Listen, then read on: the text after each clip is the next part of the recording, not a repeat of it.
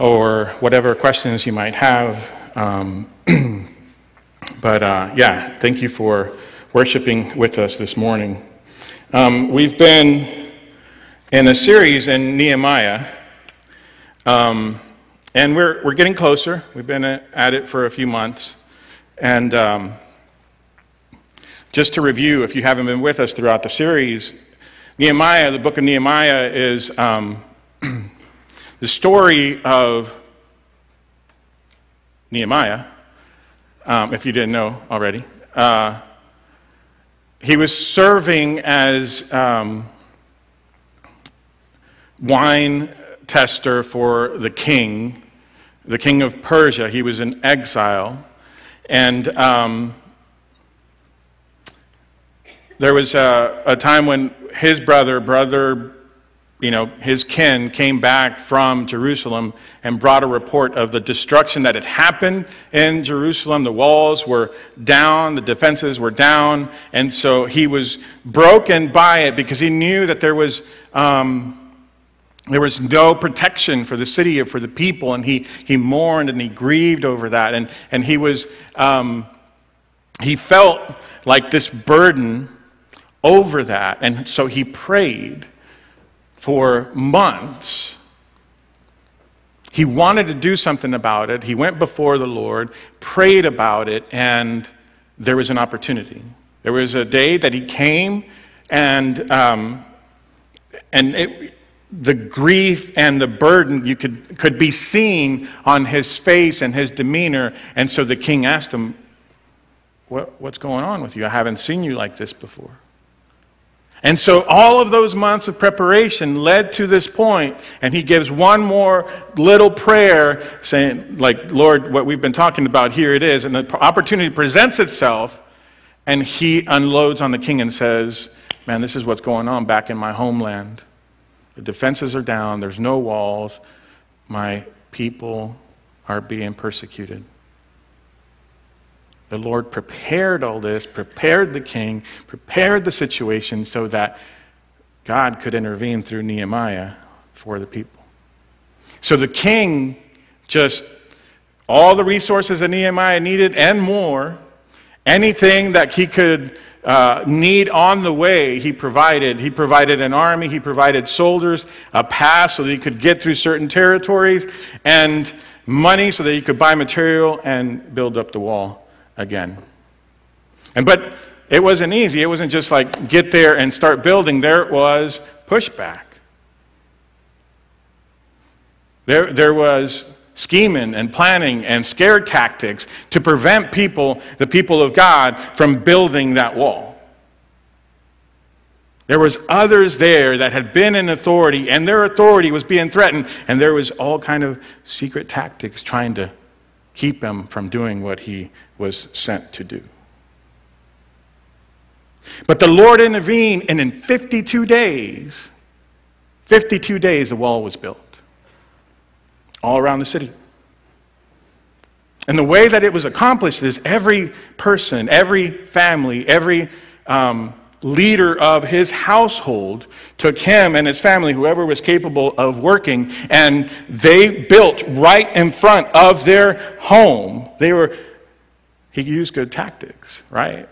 There was a sense of urgency in protecting each family's home. So they built, they built right in front of where they lived, taking care of the family. And in 52 days, it got built, it got done led by the Lord Himself.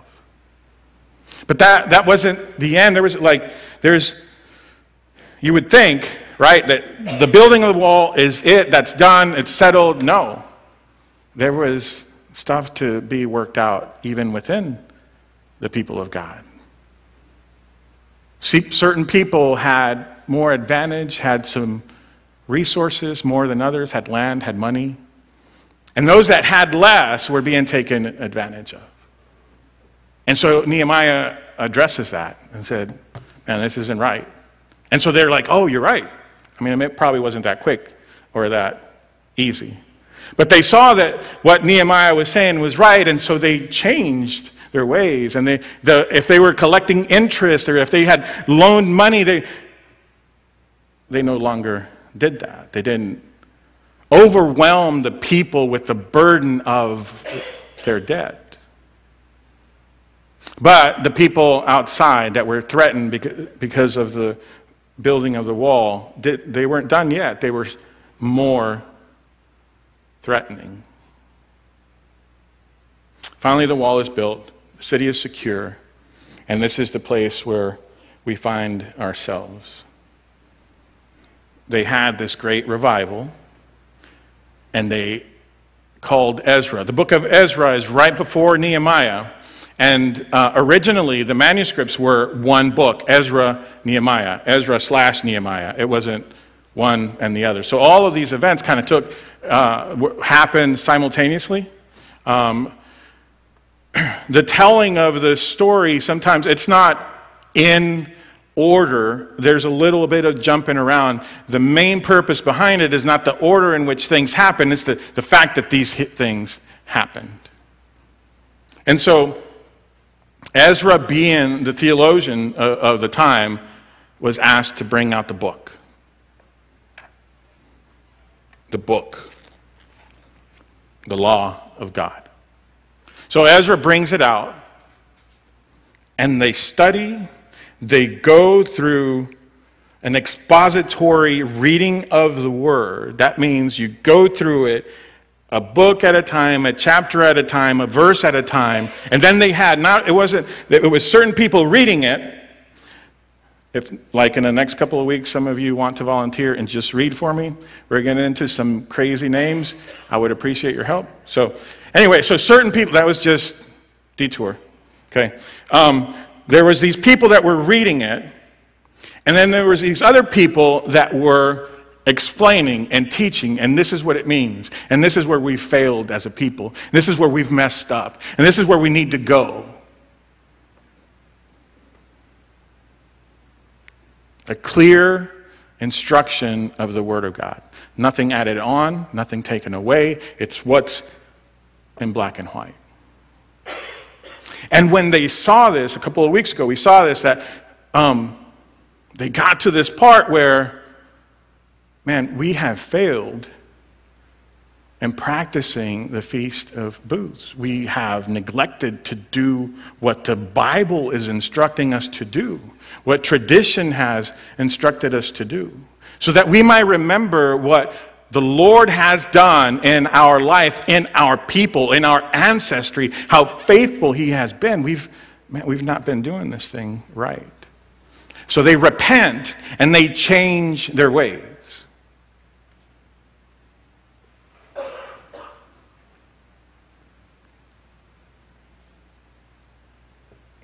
And this is still going on. This is a continuance of what we have seen of late. Nehemiah chapter 9, verses 16 through 38. We're going to pause for prayer uh, because we're going to do the same thing as last week. We've got it. Yeah, 16 through 38 is what we're reading today. So that's a good chunk of scripture. So instead of reading it all and then coming back and going through it again and teaching, we're just going to go a section at a time. So pray with me this morning.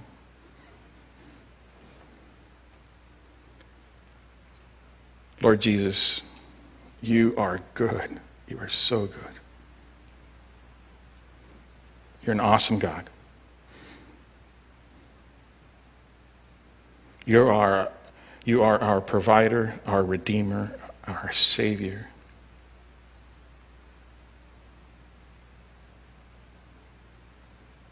Took on the weight of the sin of the world, took on flesh know you know what it is to suffer. Not by just being a sovereign God, not by um, knowing all things because you are creator, but because you also walked here on earth. Had friends, had family. There was betrayal. There was loss. There was death hopelessness, poverty. You experienced it all, and you saw it in others. You were broken for them. You know what it is to be man. Lord, you know us well. You know the depths of our hearts. You know how much we need you. You know us intimately, and yet you love us. Continue to do a good work in our lives, Lord. Your word says that you will finish what you've started. Continue to work in us, God, molding us into your image. Be with us this morning in our study and reading of your word. We love you, Lord. In Jesus' name, amen. Nehemiah chapter 9, starting in verse 16. But they and our fathers, I'm going to go back just a little bit, back to what we covered last week. This is uh, Nehemiah chapter 9. We're still in chapter 9, just the, the end here before, um, starting in verse 9, just so we know where we're at. And you saw the affliction of our fathers in Egypt and heard their cry at the Red Sea, and performed signs and wonders against Pharaoh and all his servants and all the people of his land. For you knew that they acted arrogantly against our fathers. And you made a name for yourself as it is today, and you divided the sea before them, so that they went through the midst of the sea and dry land, and you cast their pursuers in, into the depths as a stone into a mighty waters. By pillar of cloud you led them in the day, and by a pillar of fire in the night, to light for them the way in which they should go. You came down on Mount Sinai and spoke with them from heaven and gave them right rules and true laws, good statutes and commandments. And you made known to them your holy Sabbath and commanded them commandments and statutes and law by Moses, your servant. You gave them bread from heaven for their hunger, for their hunger, and brought water for them out of the rock for their thirst. And you told them to go in to possess the land that you had sworn to give them. But they and our fathers acted presumptuously and stiffened their neck, did not obey your commandments. They were instructed, they were, set, they were told, Go, the land is yours. Go. Go take possession of it. Go. We're told to go and make disciples. Go and tell the people the good news of the gospel about this great king that we serve. Go. But they and our fathers acted presumptuously and stiffened their neck and did not obey their commandments. They refused to obey and we're not mindful of the wonders that you performed among them, but they stiffened their neck and appointed a leader to return to slavery in Egypt. Isn't that crazy?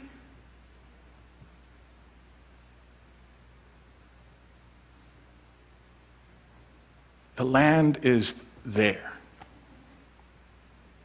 And a couple of the spies were like, yeah, these guys are right. There was 10 of them. Eight of them were like, no way, we can't take on these giants. Two of them were like, yes, we can. God is going before us. We can go into this land.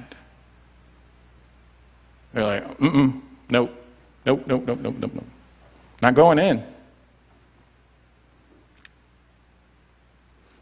Not only are we not going in, we're going to find a guy that takes us back to Egypt. We'll be slaves again. You know, we got good exercise building brick back there. You know, a whip every now and then is not as bad as being just stepped on by these giants.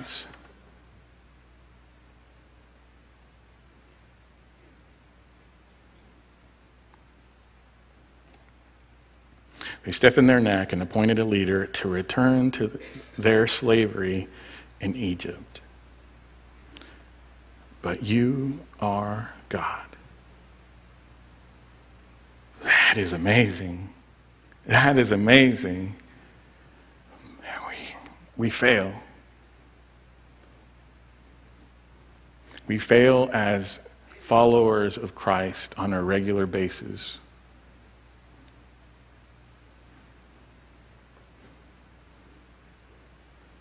But God. But God. But you are God, ready to forgive, gracious and merciful, slow to anger, and abounding in steadfast love. You imagine our behavior now, the way that we behave as Christians, if we were in Old Testament time when, boom, people got lit up like that, or the earth opened up and swallowed you up for disobeying. We see it with Achan. They were instructed don't take anything for yourself. They were at war. They went to war. The people of Israel went to war, and Achan just snuck in a little piece of something. He went into his tent hid it where nobody else could see it. Nobody saw him do it. It was only him and God. Smoked just like that.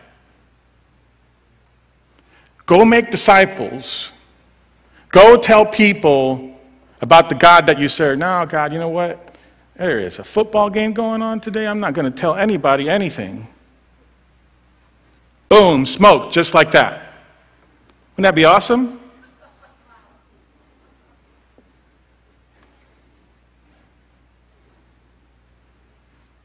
Bring out your marshmallows.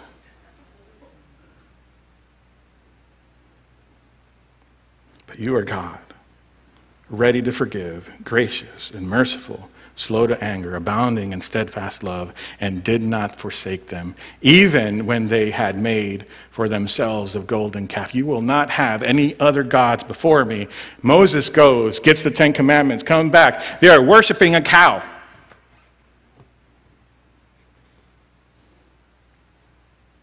Can't leave them alone for five minutes. Can't leave us alone for five minutes. Right?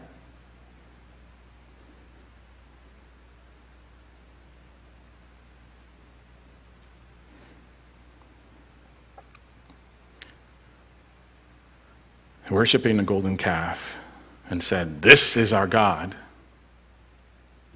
who brought up, who brought you up out of Egypt and had committed great blasphemies. They committed great blasphemies.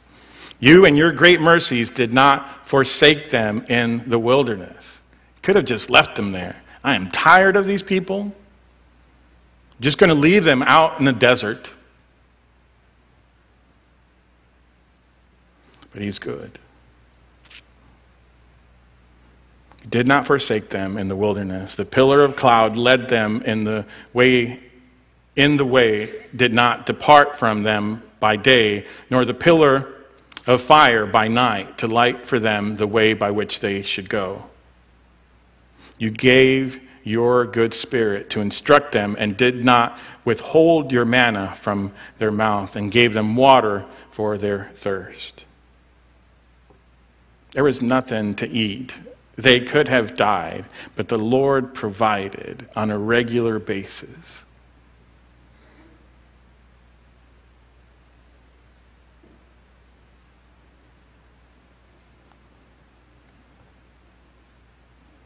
Forty years he sustained them in the wilderness, and they lacked nothing. Their clothes did not wear out, and their feet did not swell. They're walking all over the place. You know, they could have had issues with their feet, they didn't. Their clothes did not wear out.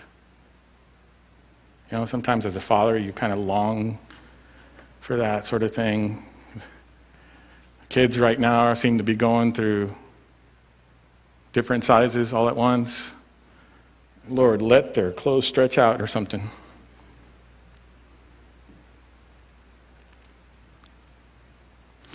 And you gave them kingdoms and peoples and allotted to them every corner So they took possession of the land of Sihon, king of Heshbon, and the land of Og, king of Bashan. He forgave and gave them opportunity. Possession of the land and of peoples and of kingdoms. He expanded their ter- territory. You multiplied their children. That is a huge thing. Within this culture, it is a huge thing. It is a blessing to have a huge family, to have lots of offspring. You multiplied their children as the stars of heaven, and you brought them into the land that you had told their fathers to enter and possess.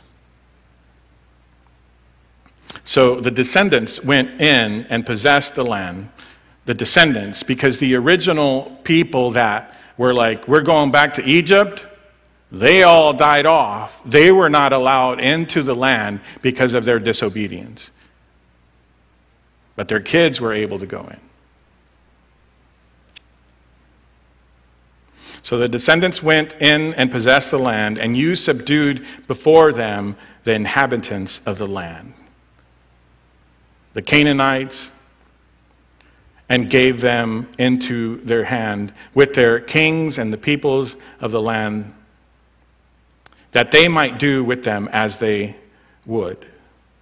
And they captured fortified cities and rich land and took possession of houses full of all good things cisterns already hewn, vineyards, olive orchards, and fruit trees in abundance. So they ate and were filled and became fat and delighted themselves in your great goodness. They were in a good place. Abundance. Anything they could imagine, they had. Well fed. They were in a good place.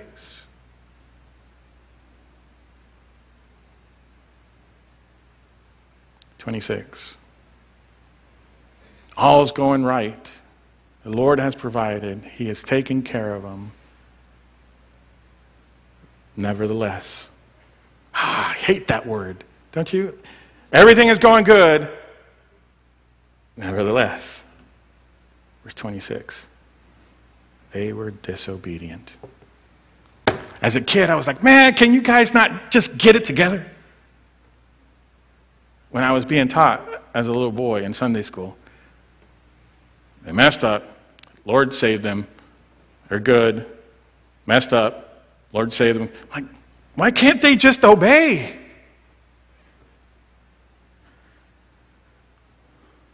Of course, I was probably disobedient myself, you know. I, you know, I probably just did something to my little brother or something, you know. I was always doing something to my little brother. I'm just letting you know. They were disobedient and rebelled against you and cast your law behind their back. This isn't for me, man. And killed your prophets. They had the law of God.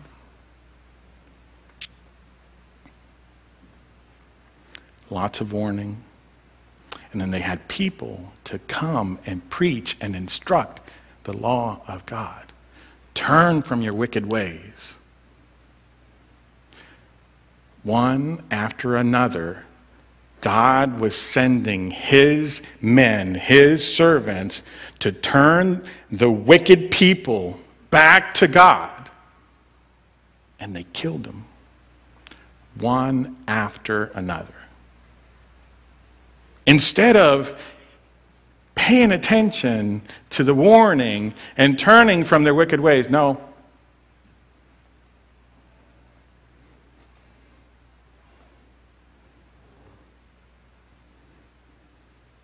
Killed your prophets who had warned them in order to turn them back to you. They committed great blasphemies. Therefore, you gave them into the hand of their enemies who made them suffer. And in the time of their suffering, they cried out to you. And yet again, you heard their cry.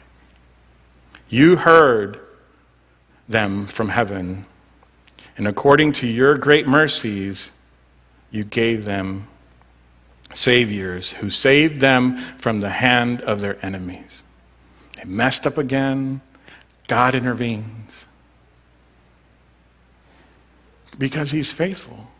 He is faithful to hear our cry. Amen?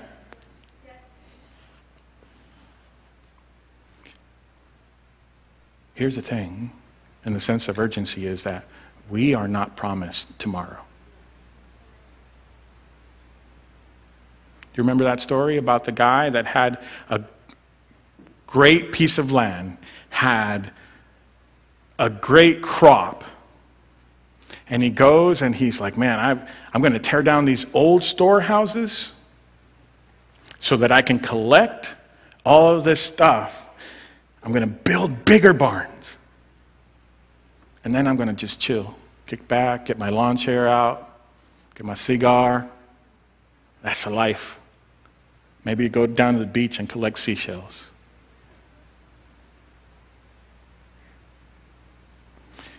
Jesus is instructing his disciples with that story, and he says, You fool, you will not see tomorrow. So there's a tension, right? God is merciful. He's the God of second chances. And second chances that don't make any mathematical sense whatsoever, right? Because we mess up and He gives us another opportunity. We mess up and He gives us another opportunity. But we're not promised tomorrow. There's that tension.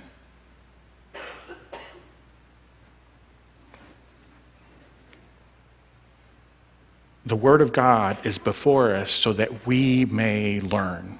It was for them, it was for His people, it was for that time, but it's also for us so that we may listen to the warning because we're not promised tomorrow.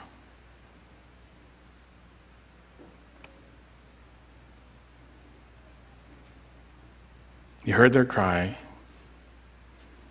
and gave them saviors who saved them from the hand of their enemies. But after they had rest,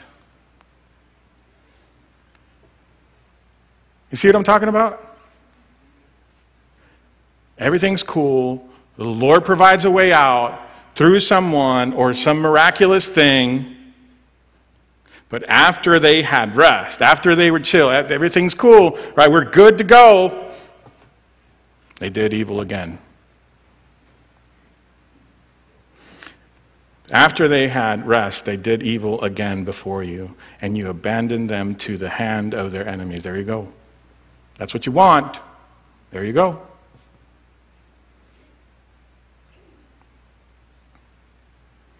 so that they had dominion over them. Their enemies had dominion over them. Yet when they turned and cried to you, you heard them. He saves them again.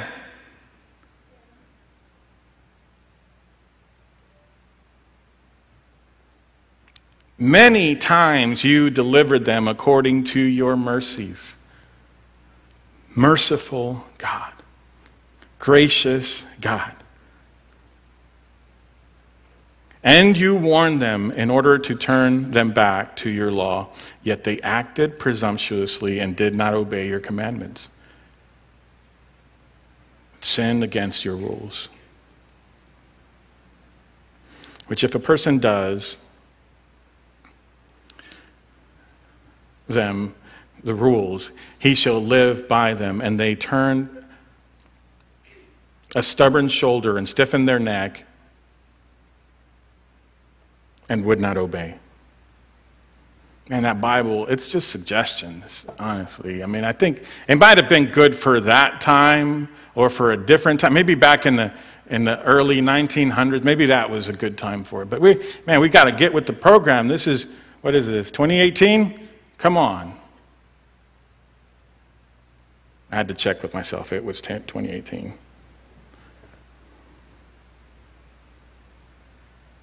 They turned a stubborn shoulder and stiffened their neck and would not obey. Many years you bore with them and warned them by your Spirit through your prophets, yet they would not give ear. Therefore you have you gave them into the hand of the people peoples of the land. Nevertheless, in your great mercies, wow, amazing, you did not make an end of them or forsake them, abandon them. You did not abandon them. For you are a gracious and merciful God now, therefore, our God, the great, the mighty, and the awesome God who keeps covenant and steadfast love, let not all the hardship seem little to you that has come upon us, upon our kings, upon our princes, upon our priests or prophets, our fathers, and all your people, since the time of the kings of Assyria until this day. Yet you have been righteous in all that has come upon us. We can't hold it over your head. There is no guilt on you, Lord. This is all because of us. You have dealt faithfully, and we have acted wickedly. We have to take a sober look. I'm just pausing here at verse 34 we really have to take a sober look and not think better of ourselves and say, man, well, I'm not so bad. I'm not as bad as that guy.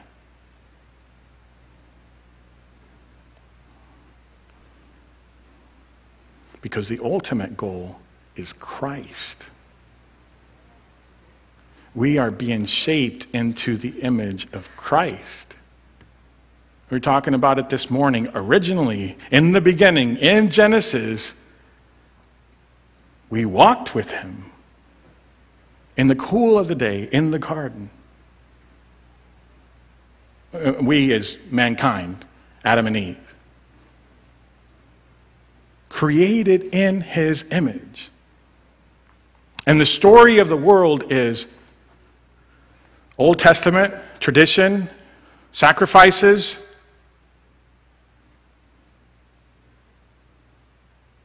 Stories that point to Christ, that predict there is a Savior coming, Christ coming to take on our sin.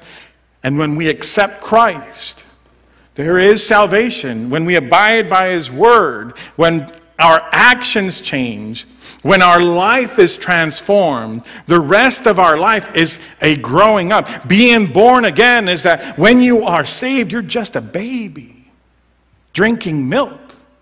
You have to grow up. You have to get into some meat and some vegetables. I don't like broccoli, but we have to get in it.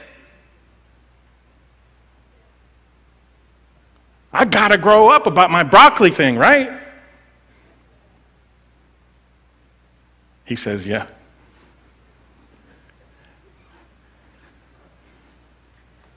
We need that nutrition in our life. And that means that we expose ourselves to being ridiculed because we're telling people about Jesus.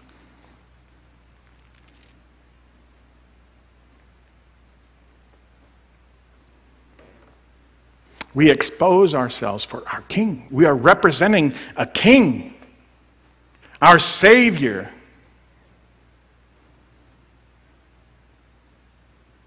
You might be from Del Rio or the surrounding area or somewhere in these United States, but you're not American and you're not Texan or whatever. Your citizenship is in heaven. And you've been given an assignment by your king to tell people about him. How are we doing on our assignment? When we go back, and we will go back and report to Him face to face.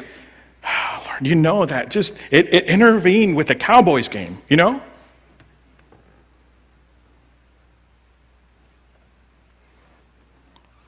Or HGTV Rebuild It channel or something.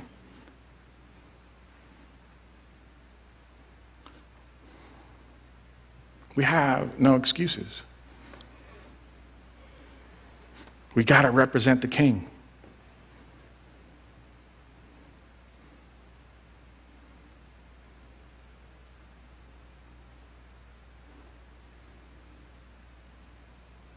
Have acted wickedly. Verse 34 Our kings, our princes, our priests, and our fathers have not kept your law or paid attention to your commandments and your warnings that you gave them, even in their own kingdom. And amid your great goodness, they're surrounded by all these great things, the land that you promised them. We're surrounded, surrounded by all these great things.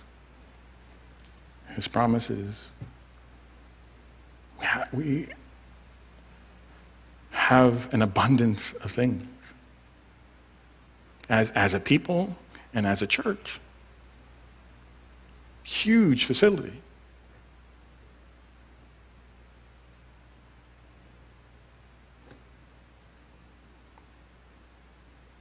Amid your great goodness that you gave them, in the large and rich land that you set before them, they did not serve you or turn from their wicked works. Behold, we are slaves this day in the land that you gave to our fathers to enjoy its fruit and its good gifts. Behold, we are slaves.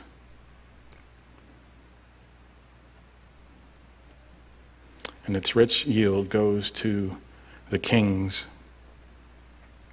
whom you have set over us. This is the sovereignty of God. He knows the kings that are ruling over them. He knows their oppressors.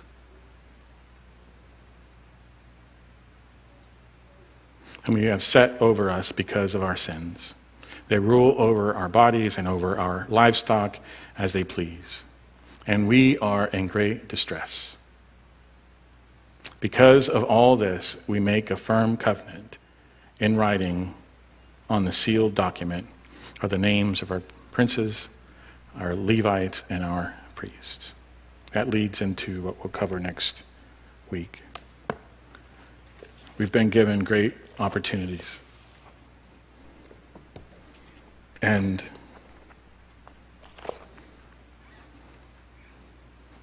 Jesus talks about the hospital being for the sick. Church is built for the sick. We're all in the process of being shaped and grown up into the image of Christ. But the, the, the, question is an intimate question that we have to ask ourselves Am I progressing? Am I stagnant? Have I really been transformed? Because Scripture says whether you are saved, sealed. The evidence of whether we are progressing is are we lining up with the Word of God? Are we doing what our King has asked us to do as ambassadors? Are we fulfilling our obligations as ambassadors? Not carrying around our membership card so that we can get in the gate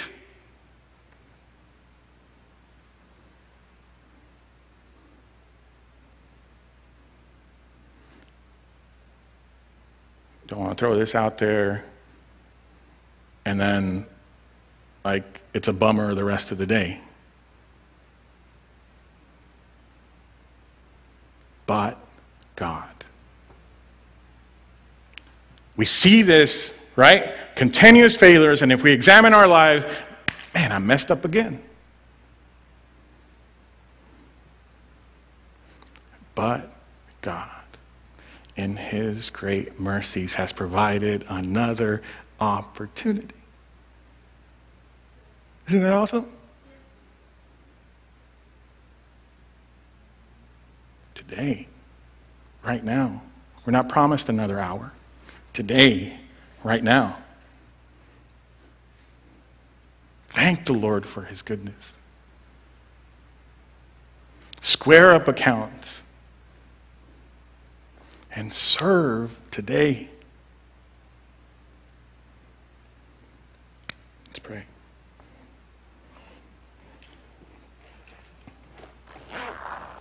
Lord Jesus, we thank you. I thank you, Lord for your goodness and your patience, God. Your patience with us. We should be just overwhelmed by your continuous goodness in our life, your faithfulness, and just surrender to your will because we are so grateful for what you have done. There is no line. There is no serving you up to this point. There is complete surrender.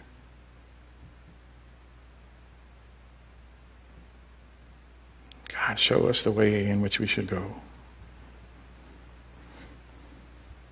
Lead us by your Holy Spirit. We are no longer slaves to sin. We are not captives by it. Let us operate in freedom and serve our King. We love you, Lord, and we thank you. We're so thankful for you this morning. In Jesus' name, amen.